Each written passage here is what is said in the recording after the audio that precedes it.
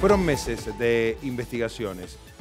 Eh, en diversos sectores, en vastos sectores de la provincia de Mendoza, estaban tras la pista de una banda narco.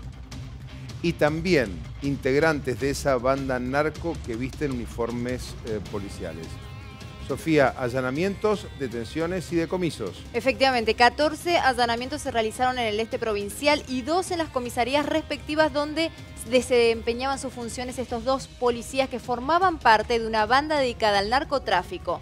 Nueve detenidos, siete de entre ellos cuatro eran hermanos, tres eran allegados a la familia y dos oficiales que se desempeñaban respectivamente en la comisaría 28 de Palmira, San, Martín y también la subcomisaría El Porvenir en Jocolí, La Valle. Estamos hablando de una banda que operaba literalmente en el este provincial, llevaba la droga allí y la repartía, la distribuía en kioscos que estaban conectados, conectados, comunicados entre sí. ¿Y qué hacían estos policías? Liberaban la zona. La mecánica era la comercialización de estupefacientes, tanto de marihuana como de cocaína, y en particular estos dos sujetos hacían todo lo que hace a la comunicación y el apoyo eh, de, información para que tuviesen ciertas garantías los malvivientes junto a ellos de hacer de, su distribución y comercialización de drogas fundamentalmente en la zona del este. ¿Estos dos oficiales hace cuánto tiempo prestaban servicio en las fuerzas?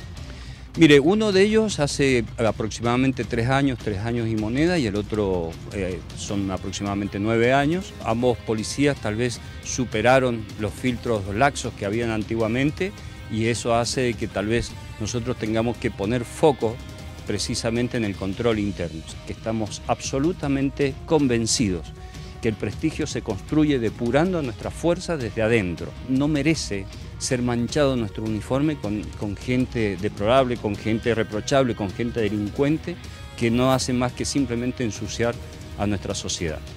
Los policías elegimos cuidar a la sociedad, no ponerla en peligro. Y aquellos que lo eligen así son delincuentes, y así serán tratados.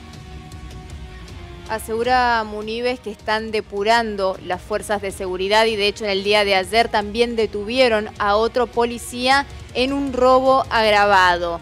Concretamente respecto de este operativo, y lo vamos a ver en imágenes, lo estamos compartiendo, secuestraron desde cocaína, dinero en efectivo, marihuana en trozos y también plantas, hasta un revólver, una moto, un auto y una mountain bike, por decir algunos de los tantos objetos encontrados en estos 14 allanamientos. Por lo pronto los sospechosos, los nueve sospechosos, decíamos, ya están a disposición de la justicia federal, detenidos incomunicados y a la espera en las próximas horas de ser indagados.